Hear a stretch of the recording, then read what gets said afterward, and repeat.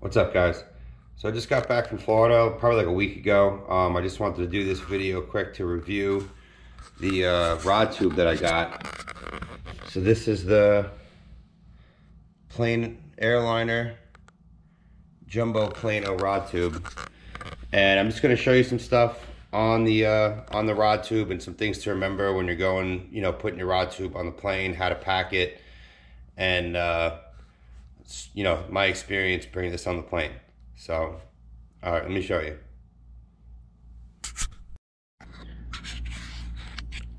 So one of the things I really like about this rod tube is it has wheels on the back. So when you're walking through the airport, you just lift it by the handle and drag it behind you. You know, when this thing is slid open with, with big rods in it, it actually gets, you know, pretty cumbersome.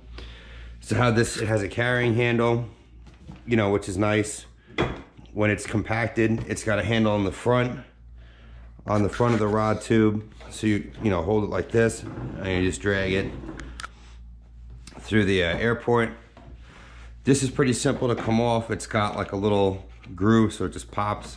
You just turn it and pull this right off. The bungee is a great idea that attaches the, the top to the, the main tube. And then you got some foam in here you know, for the end. I know a couple guys who had said when they bought this, theirs didn't come with foam.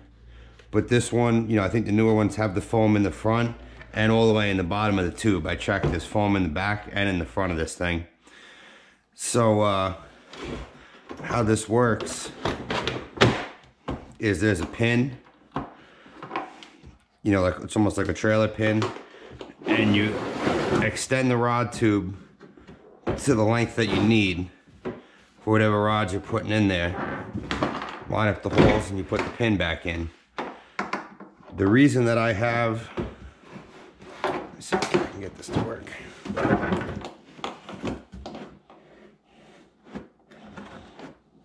There we go.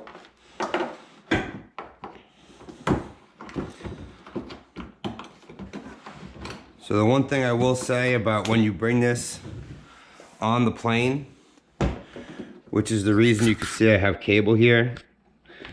You know, hold fixed to the pin. When you bring this on the plane, TSA is going to open this. They're gonna take all your rods out and they're gonna take the whole tube apart.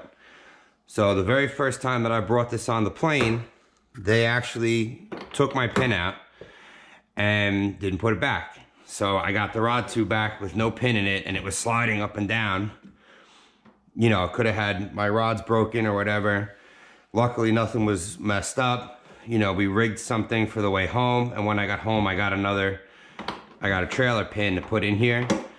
And I actually, you know, wire crimp and crimped it so that now when you take this out, it's attached to the, you know, to the thing. They can't lose it.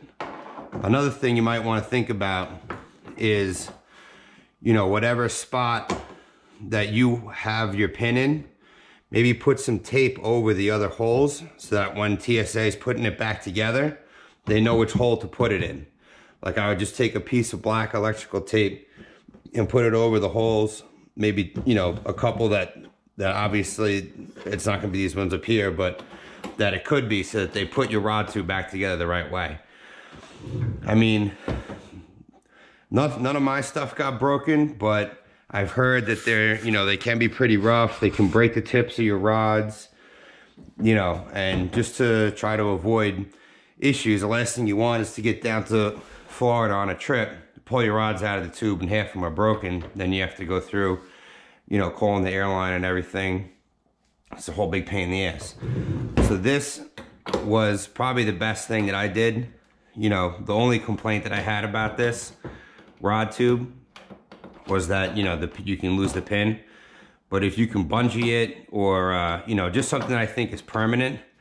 I don't know if you're allowed to put a lock on here, like a lock with a key or, or a padlock.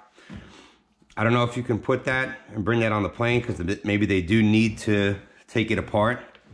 I'm not really sure. But I'm gonna show you how I pack this also. All right, so this is how I packed uh, my rod when the last time we went. So I have two towels that I laid out end to end. you know, about the length of the rod.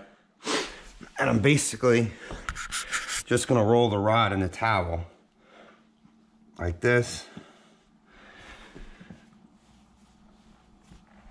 And just roll it over a few times. And you can put the next rod in there.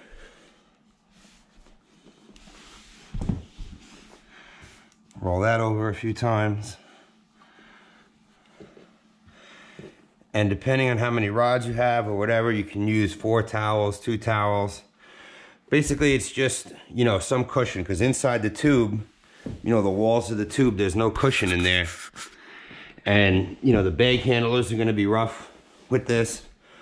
TSA is going to be rough with it. They're not going to put your stuff back nicely. So I just put it in the towel, put it in the tube,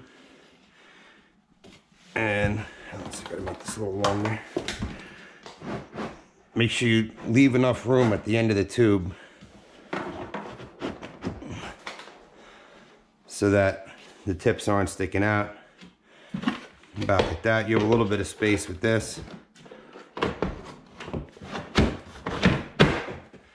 And that's pretty much it. You just, you wanna make sure that when they are putting this back together, they're not gonna smash your rod tips or do anything like that.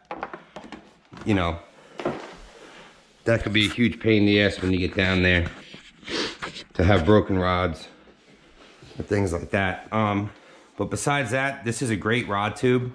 I know that Plano makes another one that's a little smaller. I actually like this one better because it has the wheels and the opening is bigger.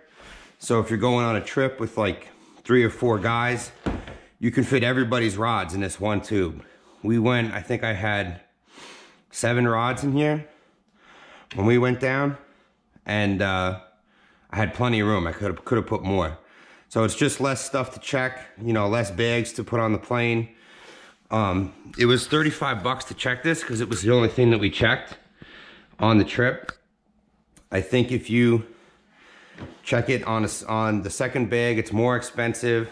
Some airlines might charge you for oversized uh, luggage, depending on, you know, which airline you went. We flew Delta and JetBlue both both airlines it was 35 bucks to check this you know it wasn't an oversized uh you know if they if it's over 50 pounds they charge more if it's extra large whatever they charge more so this was 35 bucks you know we split it between the three guys and it was it was like nothing. It was like ten dollars a guy or whatever. We put all our rods in here worked out really good. So i definitely recommend this plano rod tube and it makes you know makes traveling a lot easier. So but like I said, definitely try to fix this pin to the rod tube somehow.